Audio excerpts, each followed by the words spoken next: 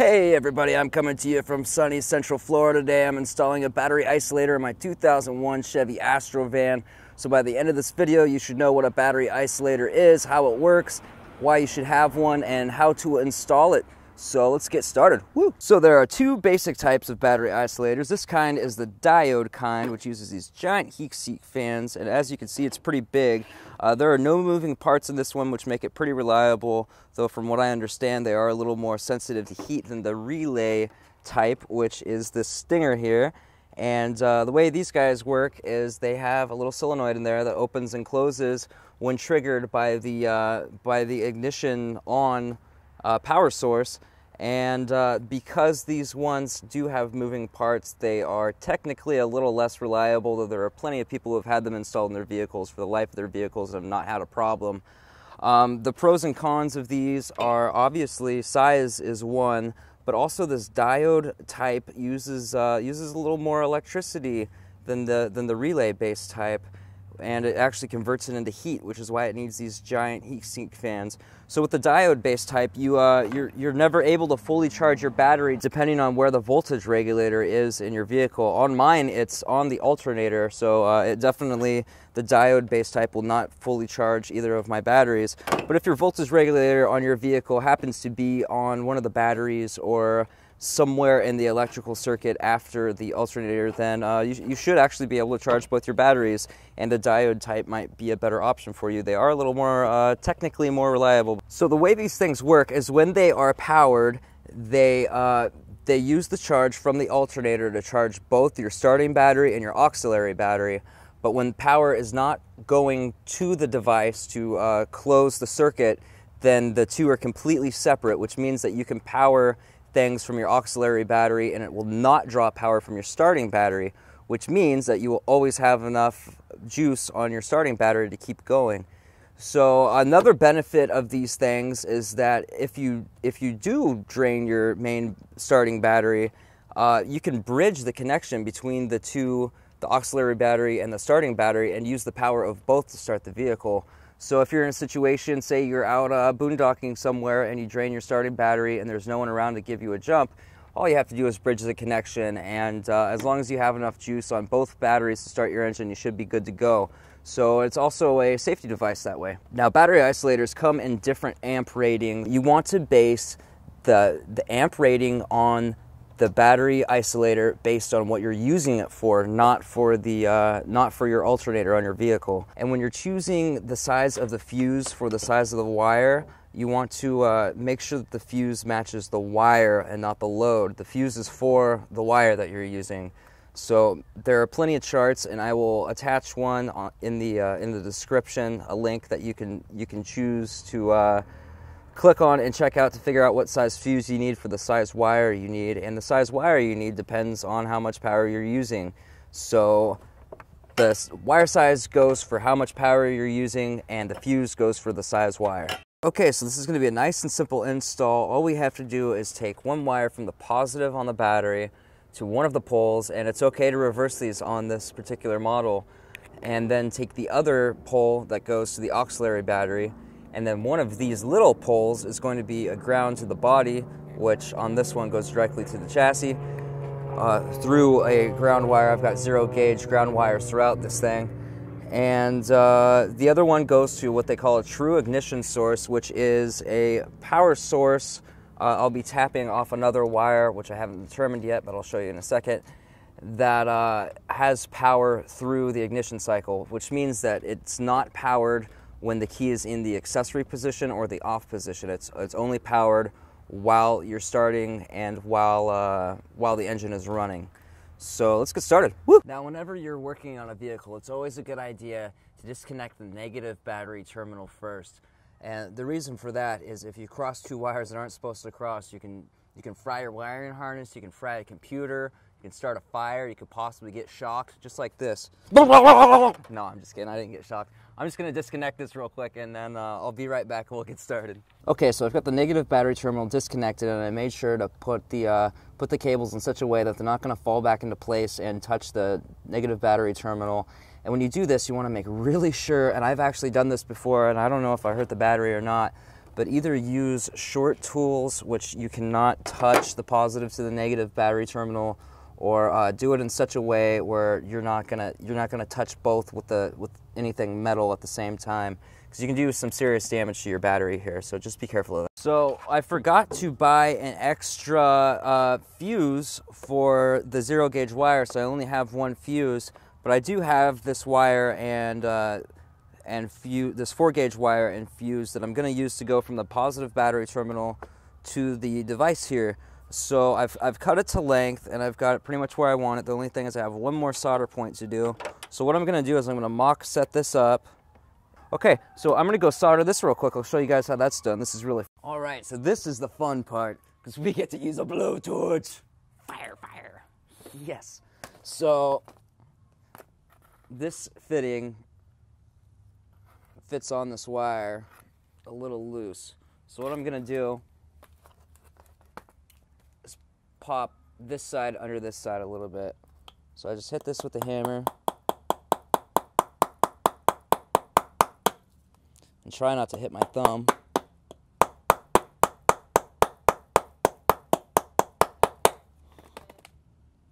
Alright, see how it's folding under? So I'm going to set it sideways. Give it a good tap.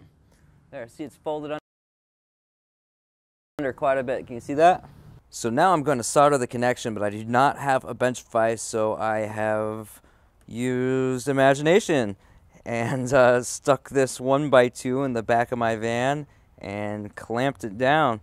So I'm going to show you how to do this real quick. Wearing safety glasses and uh, gloves. don't mess around with your body, man. You, only got it for so long, you know what I mean? So I'm gonna light this blowtorch real quick. I'm just gonna heat this guy up and make sure you don't heat up the, uh, insulation on the wire. You're just trying to get the fitting nice and hot so that when you drop the solder on there, it just falls on and melts right in. See, it just melts right in. All right, so the solder job is done and it's nice and strong, not going anywhere. So I'm gonna go ahead and uh, install this guy real quick. So I've installed from the positive battery terminal up to the fuse and to the, uh, to the battery isolator here. So the next step uh, is going to be the hardest one and running a wire from this terminal all the way back to the auxiliary battery in the back right of the van. So the first step uh, is to figure out the routing and put it in place. So I've got about 17 feet of this zero gauge wire and uh, I, I, guess actually probably the smartest thing to do is put the fitting on one end which I'm going to attach to the um, to the battery isolator and then run the rest through to figure out what exact length I need. And by the way, my auxiliary battery is all the way in the back passenger side. So we've got quite a ways to run this cable. Now I don't have any kind of uh, uh, anything to cover this to protect it. So I'm to have to go without it for now, but later on I will definitely, I think it's called conduit, I'll definitely be getting some to protect, protect this wire because it's going to be underneath the van and uh, prone to a lot of vibration. It really needs to be protected because this, this insulation on this wire is pretty soft. Okay, so now I've got it uh, bolted in up here and uh, I've got the wire routed down under the engine cavity. Now I just have to route it all the way to the back. It's to be really difficult to show how I routed this thing, but this is the wire. Oh, wait, where is it? Is that it? No, it's back.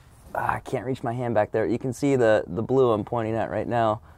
And uh, so it's all the way away from the exhaust manifold and the engine. And then, oh, man, it's so tight down here. Ugh. Oh, sorry about this crazy camera.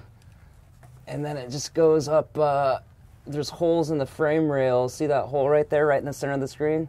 See where it's going through? Well, it goes through that rail all the way through.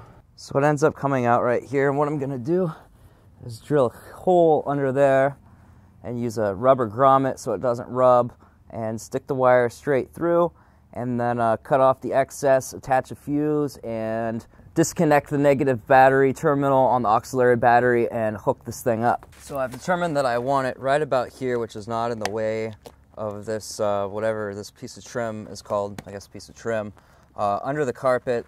So that's clear right there. I can drill a hole. Now I'm gonna feel underneath and see if it's a good place to drill through, make sure there's nothing in the way. It looks like I gotta go back a little bit because there is a double plate, which will be a little harder to drill through, and it's not flat, so I can't put a grommet. I just gotta feel out and uh, try to match my two fingers. I'm gonna mark this spot with a Sharpie. Okay, the spot's marked.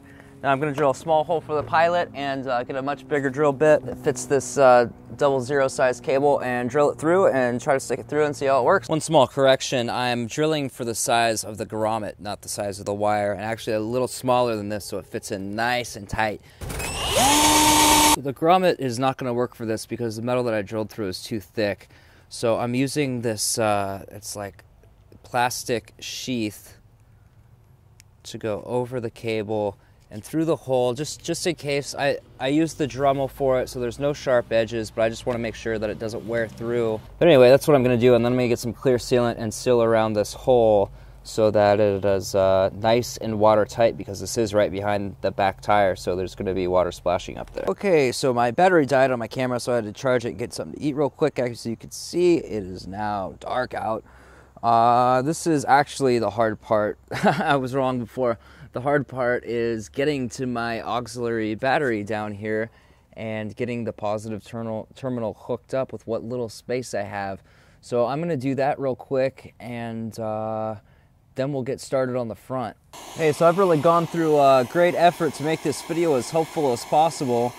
If you could uh, find it in your heart to help me out a little bit and give me a big thumbs up on this, I'd greatly appreciate it. Okay, so this fuse panel is, uh, or fuse is in place, and I put it in a place that's easy to see so I can see if it's blown, and also easy to replace if need be.